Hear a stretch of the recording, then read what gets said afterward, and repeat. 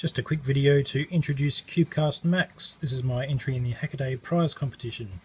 It's a pocket-sized transceiver module uh, that transmits on the ISM band, the Industrial Scientific Medical Band, uh, more commonly used for um, high altitude ballooning and things like that.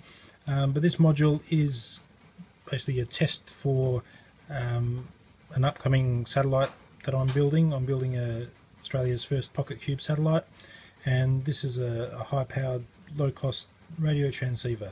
Uh, so as part of my development I decided to build it into the form factor of a PocketQube satellite. So that's just this tiny circuit board here. PocketQube is 5 centimeters cubed.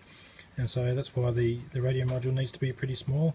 Um, and I'm also going to be building a adapter board for the Arduino Pro Mini um, so that I can control the radio board. So similar to a Moteino or a an Arduino mini wireless module, um, an Atmega 328 combined with a radio module, um, this one's just a bit more powerful and also can be used in the PocketQube form factor.